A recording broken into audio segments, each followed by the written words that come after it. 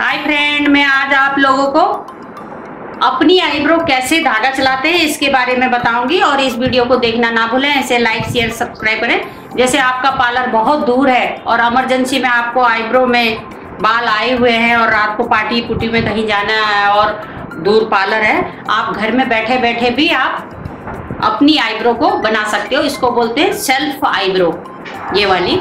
और देखिए जो इतना बड़ा है, इस धागे को मैं कम से कम इतना निकाल रही हूँ। इसमें है हम हमारा एक गिफ्ट दो उंगल मतलब इतना और दो उंगल मैंने फालतू रखा हुआ है, ये चीज़ है। और इसी को मैं इतना तोड़ने के बाद इसमें गांठ लगा ले रही हूँ यहाँ पर। अभी मैं आपको ये बताऊँगी कि धागा कैसे चलाते हैं, ये सिखाऊँगी आपको। और जब फिर दोबारा बताऊँगी तो उसको मैं बाल कैसे निकालते हैं, इसके बारे में बताऊँगी।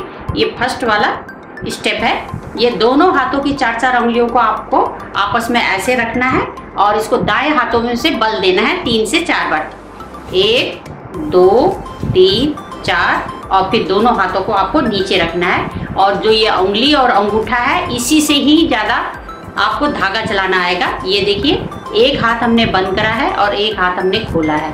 ये बंद कर रहे हैं, ये खोल रहे हैं, ये बंद कर रहे हैं, ये खोल रहे हैं। देखिए हम, और ऐसे ही हमें प्रैक्टिस करनी पड़ेगी। हम जितनी ज़्यादा प्रैक्टिस करेंगे, हमारे को उतना ही अच्छा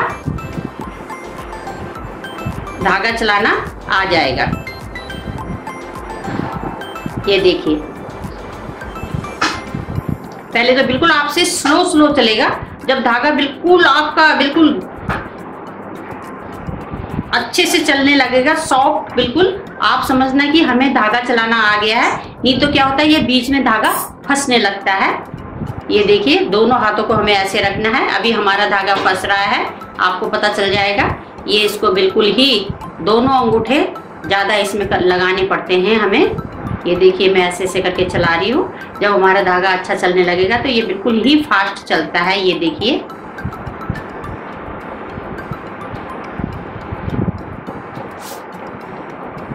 और फिर हम इसको एक बार इधर को घुमाएँगे, एक बार हम इधर को घुमाएँगे, एक बार हम इधर को घुमाएँगे, एक बार हम इधर को। ये देखिए, आपको ये उंगलियों की ही प्रैक्टिस है पहले।